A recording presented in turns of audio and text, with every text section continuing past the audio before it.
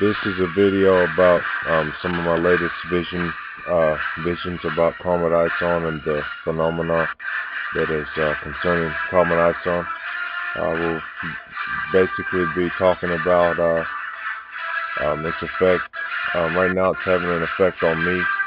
Um, I've been un, un, I've been unable to sleep for uh, about 48 hours.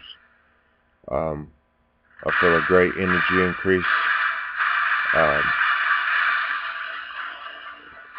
in uh, the, the, the, the vortex of energy.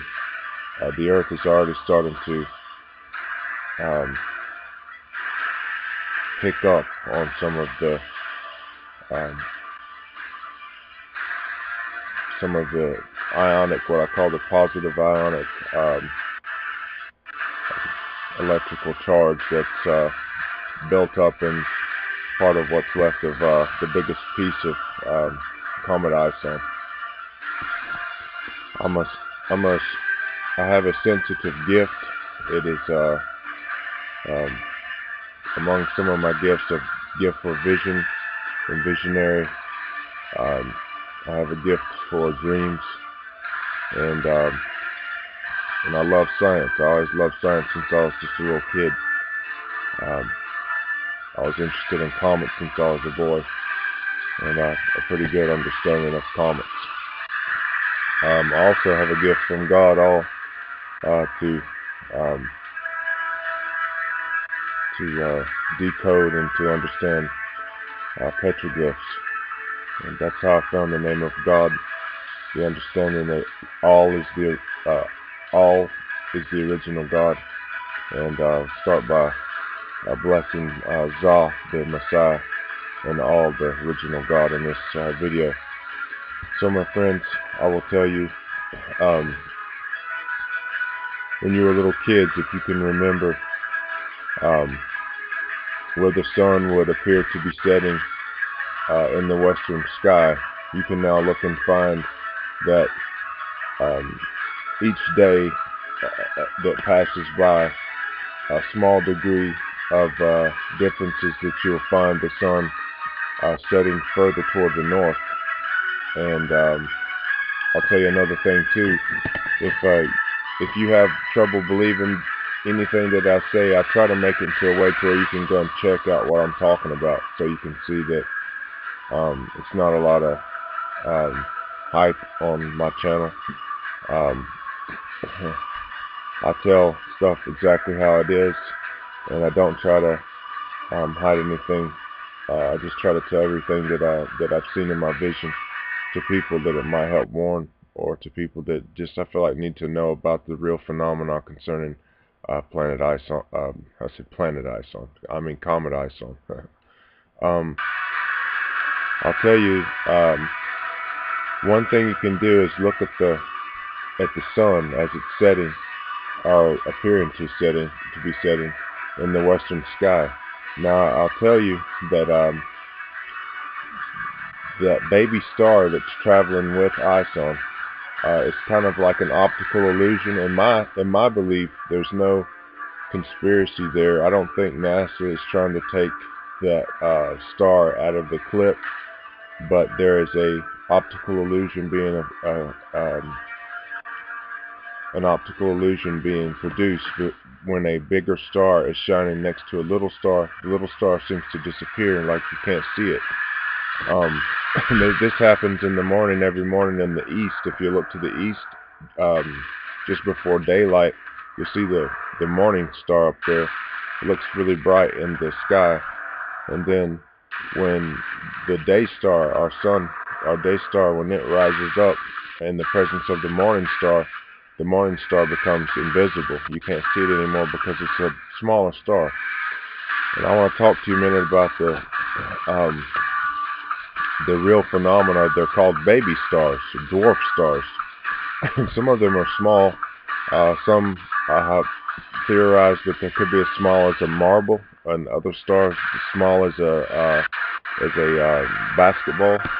They're baby stars, and uh, so try to understand that the concept is real because there are sun, there are other suns or other stars in our universe that are maybe a hundred times the size of our sun, and uh, and not all of those are red giants. There's some that are just big, huge stars, giant stars, and there are there are dwarf stars.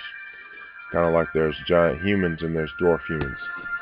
So um, there are miniature stars that little uh, uh, body of light that's traveling with uh, ISON is a, is a much smaller star than our sun.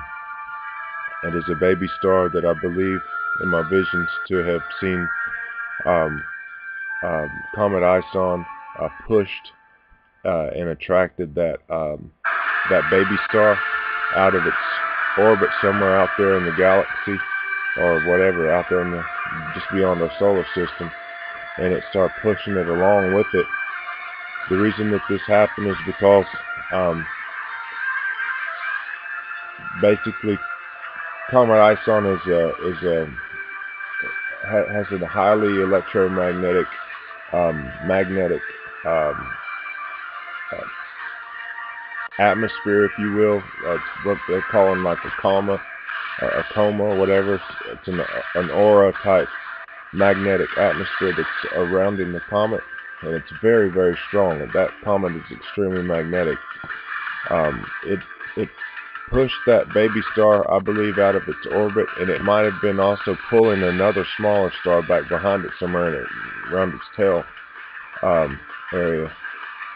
So, um, once again, I don't believe that NASA is trying to hide the fact that there's a star with Comet ISON, but I will tell you in the beginning that I had seen, even on YouTube, some people that had put up some secret photographs and some secret video of this star and it was burning. It looked like a burning torch. Um, it looked like a star, like a little fiery looking sun.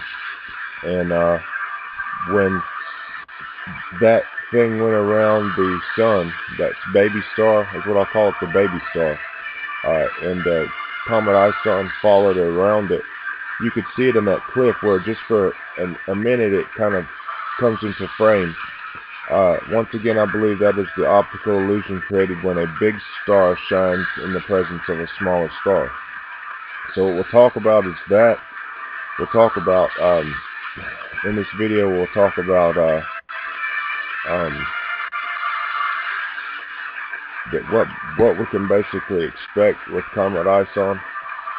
Uh, I had um, a vision of Comet ISON on its way from the sun, it's going to pick up some um, highly reactive uh, elements from the planet Mercury and some more elements from the planet Venus before it gets to us. And uh, it's going to knock a whole bunch of, some of those bigger rocks are going to hit Venus and hit Mercury and knock some of Mercury's um, um, elements and Venus's elements um, in with the comet and then it's going to travel towards Earth. And uh, again, I will tell you, uh, some red-looking um, meteors that look exactly like a red light at a street stop, uh, a, a, street um, uh, traffic signal red light. That red, that's exactly what these meteors looked like in my vision, my dream. And they tumbled and hit the moon, and when they hit the moon, they exploded like a dust bomb of red glowing silt, like ash that was glowing. It was sort of radioactive. And uh, it covered the whole moon pretty much because a bunch of them hit and put a bunch of dust all over the moon and was red. And so it made the moon red looking. And so uh, another big asteroid hit the moon and cracked it so that from Earth you could see a crack in the moon. There was a big old crack in there. Um, a bunch of those uh, elements are also from Venus and um, Mercury that have never been here in that um, proportion will be also coming to Earth. So we're going to have a lot of extraterrestrial um, elements here on our Earth. And when I say extraterrestrial, I'm not talking about UFOs and aliens. I'm talking about foreign elements that we don't have on our periodical table in uh, our, you know, our, like what we learned about in chemistry. Um, so I'm going to stop the video right here because each video is going to be under 10 minutes.